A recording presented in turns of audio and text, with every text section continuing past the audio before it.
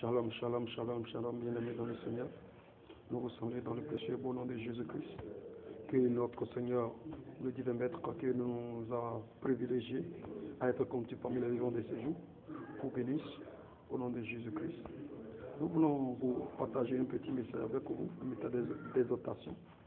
C'est tout ce qui se passe dans le corps de Christ. Nous voyons beaucoup de choses dans le corps de Christ. Le corps de Christ est divisé par des critiques, par des caractères mesquins, par à cause de la jalousie, de la haine.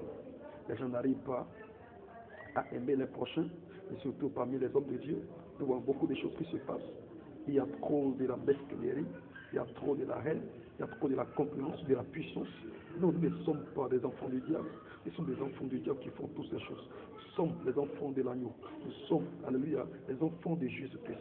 Le Dieu, alléluia, qui est venu, alléluia, sous forme humaine sur la terre, habiter avec nous afin de nous libérer, alléluia, de la malédiction éternelle. Mais c'est ce Dieu qui nous a sauvés. Alléluia. Ce Dieu est un, Dieu d'amour.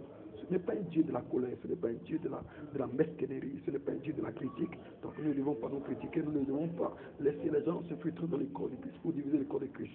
Mais il y a certains qui ne comprennent pas quelque chose.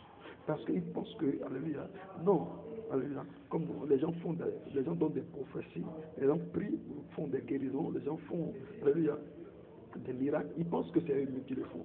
Mais si la personne est magicien, si la personne est idolâtre, s'il est kabbaliste, mais ce n'est pas à vous de dire.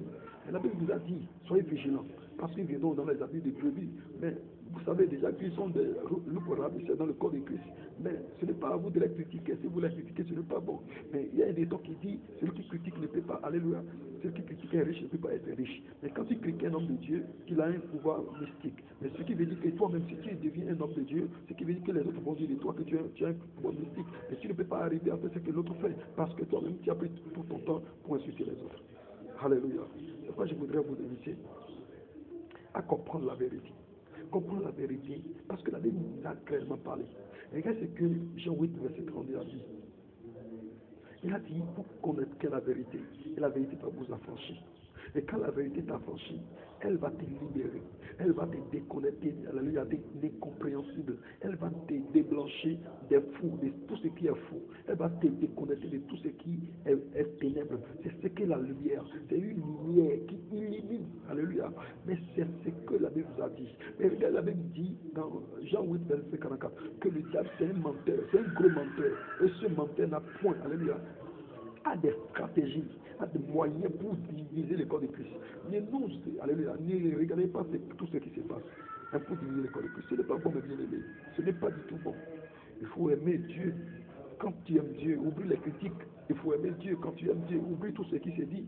Jésus-Christ a été persécuté.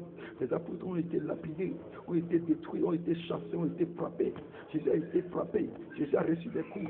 Mais pourquoi vous regardez tout ce qui s'est dit? Pourquoi vous regardez tout ce qui s'est dit? Oubliez cela. Oubliez-les.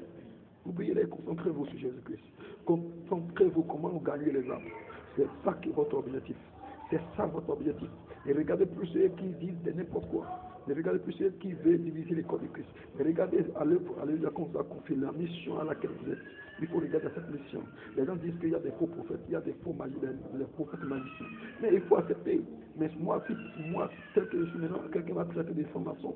Quelqu'un va traiter des formations, qu'est-ce que moi je vais en dire? Moi, je suis un premier qui traitait, qui insultait les prophètes. Mais j'ai insulté les prophètes dans ce pays, dans ce monde. J'ai insulté les grands prophètes de ce monde. Mais j'ai insulté Joël Tatou.